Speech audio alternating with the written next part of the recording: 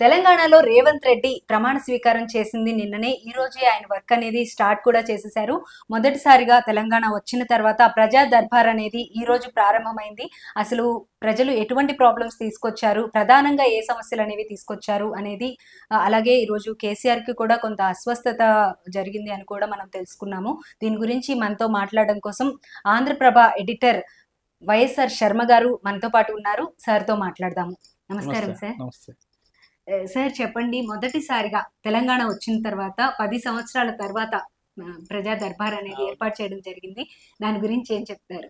నిజానికి ఈ ప్రజా దర్బారు ప్రజలతో కొలువు తీరటం. ప్రజలతో ప్రజా నాయకులు అనుసంధానం కావటం. మనం ఒక అడ్వర్టైజ్మెంట్ చూస్తుంటాం. ఏంటి భగవంతుడికి భక్తులకి ఆ దర్బార్ ఒక. దర్బార్ బత్తి అని. సో ఇది కూడా అటువంటిదే నిజానికి. అయితే ఈ ప్రజా దర్బార్ అనేది కొత్త కాన్సెప్ట్ కాదు. దేశవ్యాప్తంగా ఉంది వివిధ రాష్ట్రాల్లో ఉంది.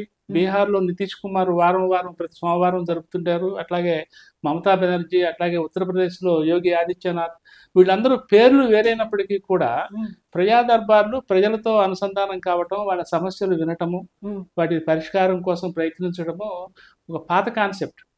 కాకపోతే తెలంగాణలో ఈ పదేళ్ళలో ఇటువంటి ప్రయోగం ఎప్పుడూ జరగలేదు. అందుకని తెలంగాణకి కొత్త కాన్సెప్ట్ అయింది. ఏమి? అయితే ఈ తెలంగాణలో కొత్త కాన్సెప్ట్గా ప్రమాణ స్వీకారం చేసిన ఇరవై నాలుగు గంటల్లోనే. రేవంత్ రెడ్డి గారు అమల్లోకి తేవటం అనేది కూడా ఒక విశేషం.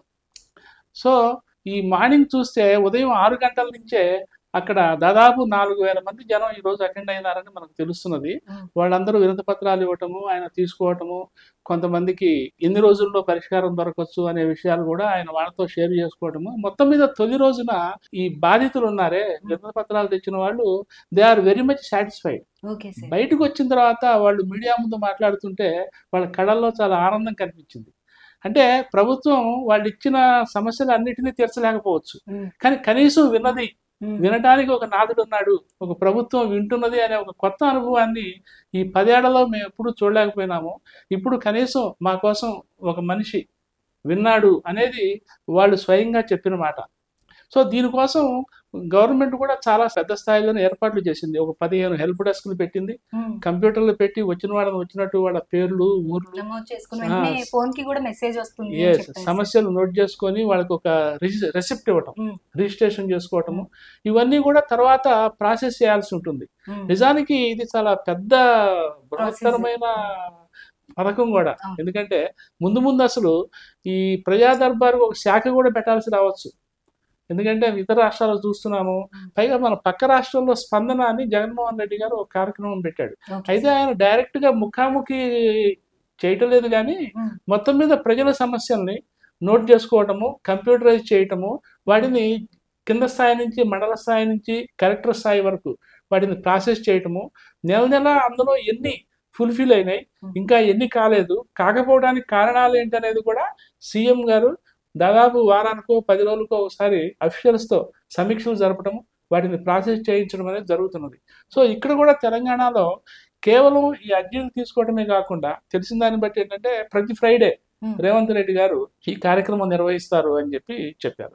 సో వారం వారం తీసుకుంటుంటే అవి దాదాపు నెల రోజుల్లో ఒక లక్షలకు చేరొచ్చు. సో అటువంటి లక్షలాది అప్లికేషన్లు ప్రాసెస్ చేయడానికి దానికి ఒక పెద్ద వ్యవస్థ ఉండాల్సిన అవసరం ఉంటుంది.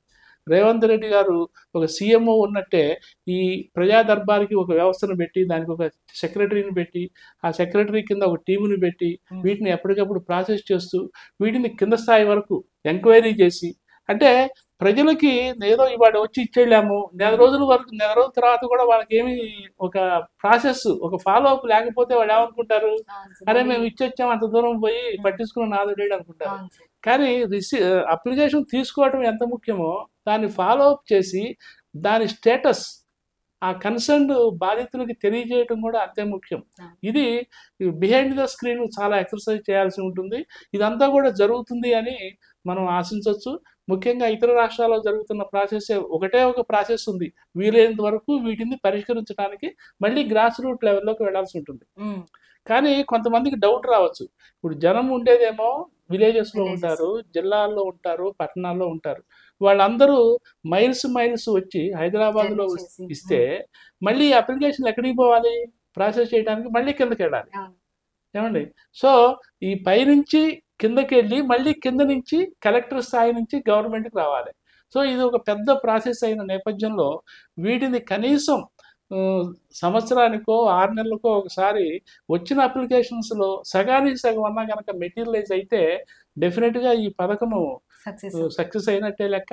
ప్రగతి భవన్లో ఈ ప్రజా దర్బార్లు అనేవి తెలంగాణలో ఈ పదేళ్ళలో లేదు కానివ్వండి అంతకుముందు ఉమ్మడి ఏపీలో ఇదే ప్రగతి భవన్లో వైఎస్ రాజశేఖర రెడ్డి గారు అండ్ కిరణ్ కుమార్ రెడ్డి గారు వీళ్ళందరూ బాధితుల నుంచి అర్జీలు తీసు- తీసుకున్న సందర్భాలు ఉన్నాయి.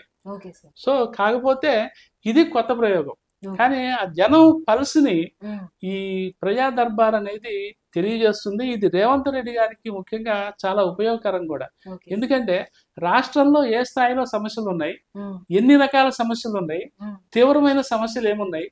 బాధితుల్లో ఎక్కువ మంది వ్యక్తిగతమైన సమస్యలు తెస్తున్నారా? లేకపోతే సామాజిక సమస్యలు తెస్తున్నారా? సామూహిక కమ్యూనిటీ సమస్యలు తెస్తున్నారా? అనేది ఒక అసెస్మెంట్ రావడానికి ఇది చాలా అవకాశం కూడా. ముఖ్యంగా ఈ ఫస్ట్ డే చూస్తే చాలా మంది ఈ భూ సమస్యలు.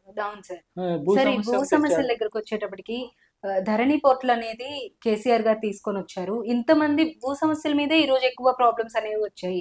అలాగే డబుల్ బెడ్రూమ్ ఫ్లాట్స్ గురించి వచ్చాయి. ఈ పోర్టల్ అనేది ఫెయిల్ అయింది అనుకోవచ్చా? అలాగే రేవంత్ రెడ్డి ముందే మనకి చెప్పడం జరిగింది నేను భూమాత పోర్టల్ అనేది తీసుకొస్తాను అని చెప్పి. రెండింటికి అసలు వ్యత్యాసం ఏంటి? ఇది ఎందుకు సక్సెస్ అవ్వలేకపోయింది? ఇప్పుడు యాక్చువల్లీ ఇవాళ వచ్చిన సమస్యల్లో నాలుగు ప్రధానమైన సమస్యలు. ఒకటి భూ సమస్యలు. రెండవదేమో ఈ ప్రాజెక్టులకు భూములు తీసుకున్న తర్వాత ఆ భూ సమస్యలు మొదటిది ధరణికి సంబంధించింది. ధరణిలో వాళ్ళ పేర్లు ఎంటర్ కాకపోవటము. వాళ్ళ భూములు ఏమైపోయినాయో తెలియకపోవటం అనేది ఒకటైతే. ఇంకోటి ప్రాజెక్టుల కోసం ఇరిగేషన్ ప్రాజెక్టుల కోసం భూములు తీసుకుంటే వాళ్ళకి డిస్ప్లేస్ అయితే వాళ్ళు వాళ్ళకి రిప్లేస్మెంట్ ఇవ్వకపోవటం. అంటే వేరే చోట భూ నివాసం చూపించకపోవటం పరిహారం ఇవ్వకపోవటం. ఇవి. కూడా చాలా ప్రధానంగా వచ్చినాయిట. మూడోది నిరుద్యోగులు. నిరుద్యోగులు ఎక్కువ మంది వచ్చారు. ఆ నిరుద్యోగులకైతే ఆయన చెప్పింది ఏంటంటే మీరేమీ కంగారు పడద్దు. మీరేమీ తొందరపడద్దు నేను ఈ సమస్య మీద వీళ్ళని త్వరలో అటెండ్ అవుతాను. మీకు న్యాయం చేస్తానని చెప్పి వాళ్ళని భుజం తట్టి పంపించారని తెలిసింది మనకి. ఇక రెండోది ఈ ధరణి సమస్య.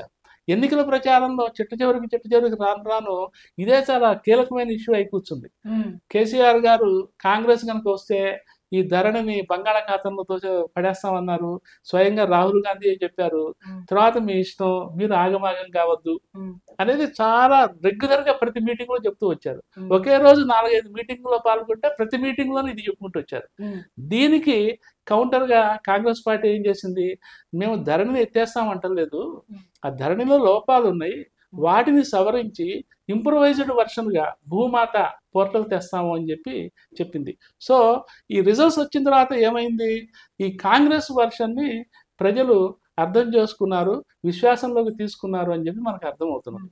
సో ఇప్పుడు ధరణిని స్టడీ చేసి దీనికి ఇంప్రొవైజ్డ్ వర్షన్గా రివైజ్డ్ వర్షన్గా భూమాతను తేవటం అనేది ఈ రేవంత్ రెడ్డి గారి ప్రభుత్వం మీద ఉన్న తక్షణ కర్తవ్యం. సో అదొకటైతే ఇంకోటి ప్రాజెక్టులకు నిర్వాసితులు.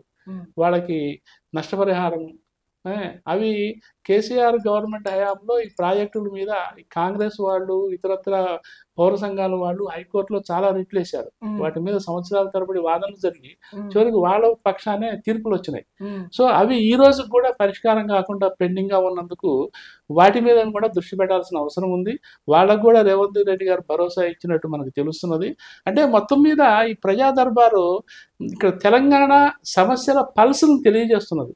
ఏ స్థాయిలో సమస్యలు ఉన్నాయి ఈ సమస్యలు నిజంగా వాళ్ళు ఎన్నికల ప్రచారంలో కాంగ్రెస్ వాళ్ళు చెప్పినవి అప్పట్లో ఆరోపణలని కొట్టేయచ్చు కానీ కొంతమంది నిజంగా ఈ రోజు వాళ్ళందరూ వచ్చి అవే సమస్యలు ప్రస్తావిస్తుంటే జెన్యున్గా ఫీల్డ్ లెవెల్లో ఆ సమస్యలు ఉన్నాయన్నమాట అనేది మనకి అర్థమవుతున్నది. ఈ రోజు కేసీఆర్ గారు కింద పడ్డం ఆయనకి చిన్న ఫ్రాక్చర్ కూడా అయిందని తెలుస్తుంది. దీనికి సంబంధించి చాలా మంది ట్విట్టర్ వేదికగా స్పందించారు. అలాగే డైరెక్ట్గా ఆయన కుటుంబ సభ్యులకి కాల్ చేసి మాట్లాడడం ఎలా. ఉంది అనేది తెలుసుకోవడం చేశారు. రేవంత్ రెడ్డి గారు ట్వీట్ చేశారు. తొందరగా కోలుకోవాలి అని చెప్పి అలాగే AP CM Jaganmohan Reddy call చేసి తెలుసుకోవడం జరిగింది. ఆ, మోడీ కూడా ట్వీట్ చేయడం జరిగింది తొందరగా కోలుకోవాలని. ప్లస్ రేవంత్ రెడ్డి గారు వచ్చేటప్పటికి ఆరోగ్య శాఖ కార్యదర్శిని. కూడా పంపించారు సెక్యూరిటీ కూడా పెంచినట్టు తెలుస్తుంది. దీని గురించి మీ విశ్లేషణ సార్. ఇది కూడా చాలా మంచి ఇష్యూ మనం చర్చించుకోవాల్సిన ఇష్యూ. అయితే దీనికి ముందు ప్రజా దర్బార్ గురించి నేను ఇంకా ఒకటి రెండు పాయింట్లు. చెప్తాను. ఎందుకంటే ఈ రేవంత్ రెడ్డి గారు ప్రజా దర్బారు నిర్వహిస్తే ఈ రోజు వరకు కూడా దాని మీద ఎటువంటి రాజకీయ విమర్శలు రాలా. అది మనం చాలా గుర్తించాల్సిన ఇష్యూ. అంటే ముఖ్యమంత్రులు ఆ, ప్రజా దర్బార్లు నిర్వహిస్తే బీహార్ నుంచి పశ్చిమ బెంగాల్ దాకా ఉత్తరప్రదేశ్ నుంచి ఒడిశా దాకా కూడా రాజకీయ పక్షాలు వాటి జోలికి పోలేదు. కానీ ప్రజా దర్బార్లు అట్లాగని ఎక్కడా వివాదాస్పదం కాకుండా లేవు. ఇప్పుడు గవర్నర్లు ఎప్పుడైతే ప్రజా దర్బార్లు అంటూ ఇందులో ఇన్వాల్వ్ అయినారో అట్లా ప్రతి చోట కూడా అది వివాదాస్పదమైంది ఎందుకంటే గవర్నర్ అనే వ్యక్తి ప్రజా దర్బార్లు నిర్వహించకూడదు అని చెప్పి ప్రభుత్వాలు భావిస్తాయి. ఎందుకు వస్తుంటాయంటే అది వాళ్ళకి ఇబ్బందికరంగా పరిణమిస్తాయేమో అని ఒక భయం. వాళ్ళకి. ముఖ్యంగా తమిళిసై మన తెలంగాణ రాష్ట్ర గవర్నర్. తమిళిసై గారు నైన్టీన్ నైన్టీ వన్ సెప్టెంబర్ ఎయిత్న గవర్నర్గా వచ్చారు. Nineteen ninety one September eighth. ఆవిడ సెప్టెంబర్ సెవెంటీన్త్ అంటే తొమ్మిది పది రోజుల్లోనే నేను ప్రజా దర్బార్లు పెడుతున్నాను అని చెప్పి ఆవిడ అనౌన్స్ చేశారు. ఓకే. ఏమి? దాంతో రాష్ట్ర ప్రభుత్వానికను ఆమెకి మధ్యలో కొంత రిఫ్ట్ వచ్చేసింది. దానికి కౌంటర్గా బీఆర్ఎస్ ఎమ్మెల్యేలు మేము నియోజకవర్గాల్లో రాష్ట్ర వ్యాప్తంగా మేము ప్రజా దర్బారు పెడుతున్నామని వాళ్ళు కౌంటర్ అటాక్ మొదలుపెట్టారు. అంటే గవర్నర్లు ఎప్పుడైతే రాజకీయ వివాదాన్ని దీన్ని చేస్తున్నారో ప్రజా దర్బార్ని అక్కడ ప్రతి రాష్ట్రంలో కూడా ఇది వివాదాస్పదం అవుతున్నాయి. అయితే గవర్నర్లు ప్రజా దర్బార్లు పెట్టకూడదా. అంటే రాజ్యాంగంలో ఎక్కడా లేదు పెట్టకూడదని. మన సెంట్రల్ గవర్నమెంట్ మాజీ ఇన్ఫర్మేషన్ కమిషనర్ శ్రీధర్ ఈ శ్రీధర్ గారు ఒక స్టేట్మెంట్ కూడా ఇచ్చారు. ఏంటి? రాజ్యాంగంలో అటువంటి నిషేధం ఏమీ లేదు. గవర్నర్లైనా ప్రజా దర్బార్లు పెట్టొచ్చు అని. కానీ గవర్నర్లు ప్రజా దర్బార్లు పెడితే అంతిమంగా జరిగేది ఏంటి? వాళ్ళు ఆ లిస్ట్ అంతా తీసుకెళ్ళి మళ్ళీ స్టేట్ గవర్నమెంట్కి ఇవ్వాలి. సో అల్టిమేట్గా పరిష్కరించాల్సింది మేం కదా. మేము కదా. మేమే చేస్తాంలే అంటారు స్టేట్ గవర్నమెంట్స్. అంటే సో గవర్నర్లు మాత్రం వాళ్ళ రాజకీయ ప్రాపకం కోసం ఎక్కడైతే డబుల్ ఇంజిన్ సర్కార్లు ఉంటాయో అంటే కేంద్రంలోనూ రాష్ట్రంలోనూ ఒకే పార్టీ బీజేపీ పార్టీ ఉన్న చోట వీళ్ళు ప్రజా దర్బార్లు పెట్టినా గవర్నమెంట్లు ఏం పట్టించుకోవు. కానీ వేరియస్ పార్టీస్ అక్కడ ఒక పార్టీ ఇక్కడ ఒక పార్టీ ఉన్నప్పుడు మాత్రం ఈ ప్రజా దర్బార్లు వివాదాస్పదం అవుతున్నాయి. కానీ ముఖ్యమంత్రులే కాదు మనం చాలా చోట్ల చూస్తున్నాము ఇతర రాష్ట్రాల్లో. హర్యానాలో స్పీకర్ వాళ్ళ నియోజకవర్గం వరకు ప్రజా దర్బార్లు పెట్టాడు అట్లాగే మేయర్లు ప్రజా దర్బార్లు పెడుతున్నారు. సో మంత్రులు మేయర్లు ఇతరత్ర నాయకులు రాజకీయ నాయకులు వాళ్ళ వాళ్ళ స్థానికంగా ప్రజా దర్బార్లు పెట్టుకొని ప్రజల సమస్యలతో అనుసంధానం కావటం అనేది అది ప్రజాస్వామ్యంలో చాలా ఆరోగ్యకరమైన పరిణామమే. దాన్ని మనం తప్పుపట్టాల్సిన అవసరం లేదు. అదృష్టం కొద్దీ రేవంత్ రెడ్డి గారి తొలి రోజు ప్రజా దర్బారు ఎటువంటి వివాదాలకు తావు లేకుండా చాలా సంతృప్తికరంగా సాగింది. ఆ విషయం రేవంత్ రెడ్డి అండ్ ఆయన టీం అండ్ ఆయన ప్రభుత్వం కూడా సంతృప్తికరంగా ఉంది. ఇంకొకటి పొద్దున్నే జనం చూస్తుంది ఏంటంటే నాతో ఒకళ్ళిద్దరు షేర్ చేసుకుంది కూడా ఈ ప్రజా దర్బార్లో రేవంత్ రెడ్డి గారు ఒక్కళ్ళే పార్టిసిపేట్ చేశారా? ఆయనకి ఆయన టీం నుంచి కోఆపరేషన్ లభించిందా లేదా అనేది జనం చాలా కీన్గా అబ్జర్వ్ చేశారు. ఎందుకంటే స్క్రీన్ మీద ఎక్కువసేపు ఆయనే కనిపించారు అంటే ఈయన ఒంటరిగానే చేశాడా? ఎవరు ఈయన వెంట పోలేదా? అనేది కొంతమంది బురుగుటి ముడిచిన సందర్భాలు ఉన్నాయి. కానీ ఈ సీతక్క గారు అంటే పొంగులేటి శ్రీనివాసరెడ్డి గారు అట్లా ముగ్గురు నలుగురు మంత్రులు వెళ్ళారు పార్టిసిపేట్ చేశారు. ఆయన ఒక రెండు గంటలు మూడు గంటలు ఉండి డైరెక్ట్గా అప్లికేషన్ తీసుకున్న తర్వాత సాయంత్రం నాలుగు ఐదు గంటల వరకు ఈ మంత్రులే అప్లికేషన్ తీసుకున్నారు. సో ఇది ఒక రేవంత్ రెడ్డి ప్రోగ్రాం కాదు. రాష్ట్ర ప్రభుత్వ ప్రోగ్రాం అనే ఒక సందేశం జనంలోకి వెళ్ళింది. అలాగే ప్రతిరోజు కూడా ఈ ప్రజా దర్బార్ అనేది ఉంటుంది. ఒక మంత్రి ఒక ఎమ్మెల్యే కూడా ఉండాలి అని చెప్పారు ఎస్. ఉండాలి. అంటే నాకు తెలిసిన సమాచారం ప్రకారం వారానికి ఒకసారి ఎవ్రీ ఫ్రైడే పెట్టాలని. ఎవ్రీ ఫ్రైడే ఎమ్మెల్యే మినిస్టర్స్ వాళ్ళు కూడా పార్టిసిపేట్ చేసి దీనికి ఒక చట్టబద్ధత. ఇక అవసరమైతే ముందు ముందు ఇప్పుడు ఈ ధరణ లాంటి సమస్యల్లో చట్టాలను కూడా సవరించాల్సిన పరిస్థితి రావచ్చు. అట్లాగే భూ నిర్వాసితులకి నష్టపరిహారాలు సెంట్రల్ గవర్నమెంట్ చేసిన సవరణ చట్టాన్ని స్టేట్ గవర్నమెంట్ గతంలో ఇంప్లిమెంట్ చేయాల. అందుకని వీళ్ళు బాధితులుగా మారిపోయినారు. సో వీళ్ళ బాధలు తీర్చాలంటే మళ్ళీ అవసరమైతే చట్టాలను కూడా సవరించాల్సి రావచ్చు. ఇప్పుడున్న చట్టాలకి సవరణ బిల్లులు తెచ్చి చట్టరూపం తేవాల్సి రావచ్చు. ఏవైనా సరే దీనికి ముందు ముందు అసలు separate గా ప్రజా దర్బార్ మంత్రి అని ఒక శాఖ ప్రత్యేకంగా ఏర్పాటు చేయాల్సి వచ్చినా మంచిదే కూడా. అది. తర్వాత ఇప్పుడు కేసీఆర్ గారి ఆరోగ్యం గురించి. కేసీఆర్ గారి ఆరోగ్యం గురించి నిజంగా అది చాలా విచారించాల్సిన విషయం విషాదకరమైన విషయం. ఆయన అర్ధరాత్రి బాత్రూంలో కాలు జారి పట్టము. అందులో వయసు రీత్యా వెంటనే కొంచెం దానికి ఒక చిన్న ఫ్రాక్చర్ జరగటము హుటాహుటిన హైదరాబాద్ యశోద ఆసుపత్రికి తరలించడము ఢిల్లీలో ప్రధానమంత్రి స్థాయి నుంచి ఇతర రాష్ట్రాల్లో ముఖ్యమంత్రుల స్థాయి నుంచి అట్లాగే ఆయన క్యాడర్ బీఆర్ఎస్ లీడర్స్ వాళ్ళందరూ కూడా వెంటనే హుటాహుటిన వీళ్ళు ఆసుపత్రికి పోవటము ముఖ్య ప్రధానమంత్రి గారు ఆయన త్వరగా కోలుకోవాలని ఆశించడము అట్లాగే ఆంధ్రప్రదేశ్ ముఖ్యమంత్రి చంద్రబాబు సినిమా కళాకారులు చిరంజీవి దగ్గర నుంచి చాలామంది ఆయనకి ఆయన త్వరగా కోలుకోవాలని ఆకాంక్షించడంలో కేసీఆర్ గారి stature. Hmm. Is tallest leader. Okay మొన్న ఎన్నికల్లో ఓడిపోవచ్చు కానీ అది ఎన్నికల్లో ఓటమి కానీ జీవితంలో ఓటమి కాదు. రాజకీయ నాయకుడిగా ఆయన ఓటమి కాదు. సో ఆయనకి అందిన సందేశాలు ఈ విషయాన్ని చాలా స్పష్టంగా తెలియజేస్తున్నాయి. బహుశా ఒక రెండు నెలలు మూడు నెలలు ఆయన బెడ్ రెస్ట్ తీసుకోవచ్చు. ఈ రోజు ఆపరేషన్ కూడా జరిగిన జరిగింది. సో అది ఒక ఫ్రాక్చరే కాబట్టి ఆయన ఆరోగ్యం గురించి నిజానికి ఆందోళన చెందాల్సిన అవసరం లేదు. కాకపోతే ఈ వయసులో ఆయన కాలు కొంచెం ఫ్రాక్చర్ అవ్వటం అనేది మనం ఆలోచించాల్సిన విచారించాల్సిన విషయం తప్ప ఇతరత్ర కానీ ఆయనకి ఆసుపత్రిలో వచ్చిన జనసందోహం చూస్తే ఆయన మీద ఉన్న అభిమానం ఈ రోజుకి చెక్కు చెదరలేదు. ఇప్పుడు మనం ఏం చెప్పుకుంటున్నాము? పదేళ్ళలో ఆయన నిర్ణయాలు ప్రజామోదం పొందలేదు అని ఒకవైపు చెప్పుకుంటుంటే అదే సమయంలో ఆసుపత్రిలో ఆయనకి దొరికిన లభించిన అభిమానం అది చూస్తే నిజంగా కేసీఆర్ ఇంతటి అభిమానం ఉంది తెలంగాణ సమాజంలో అనేది మనకి స్పష్టమవుతున్నది. అది. ఆయన తొందరగా కోలుకోవాలని. మనస్ఫూర్తిగా కోరుకుంటున్నాను అందరూ కోరుకుంటారు మనము కోరుకోవాలి. కానీ ఆయన త్వరగా కోలుకుంటారు. ఎందుకంటే ఆయన మానసిక స్థైర్యం అటువంటిది. ఆయన ఫైటర్ ఈజ్ ఫైటర్ కదా. So fighters always in the front line ఆరోగ్యం విషయంలో కూడా ఆయన ఫ్రంట్ లైన్లోనే ఉంటారు. నిజంగా ఆయన తొందరగా కోలుకొని మళ్ళీ క్రియాశీల రాజకీయాల్లో సమర్థవంతమైన ప్రతిపక్ష పాత్ర ప్రతిపక్ష నాయకుడి పాత్ర పోషించాలని మనం కోరుకుందాం. Okay sir. అలాగే సార్ ఇంకొక విశ్లేషణ సార్. రేపు ఎమ్మెల్యేల ప్రమాణ స్వీకారం అనేది జరగాల్సి ఉంది.